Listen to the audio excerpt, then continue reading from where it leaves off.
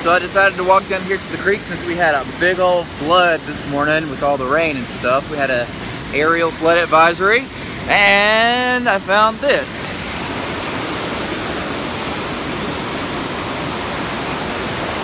This is never this full. Like, it's never this high.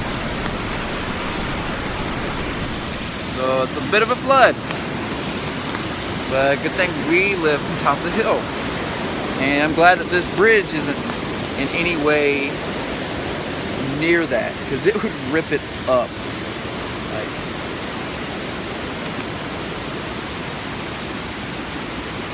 it's not close to it. It's not going to do anything, but still. I don't like to get on it for too long just because I don't want to take that risk of it falling in. But yeah, so it's a little flooded today.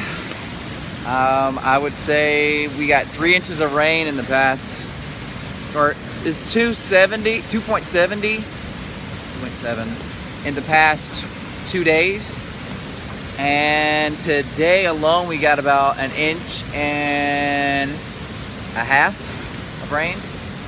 So, since this morning.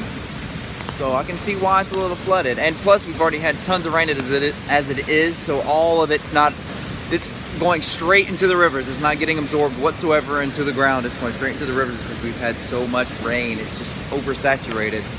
So, but yeah, that's that's it for that's it. The rain for today. I think we're probably going to be done. So this is probably going to be cresting real soon and then going down. But yeah, that's what it looks like. Blood.